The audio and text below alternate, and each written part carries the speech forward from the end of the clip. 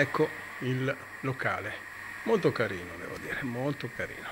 Consideriamo che siamo vicino al polo non è male ok? E questo sono io lavato stirato con perlana.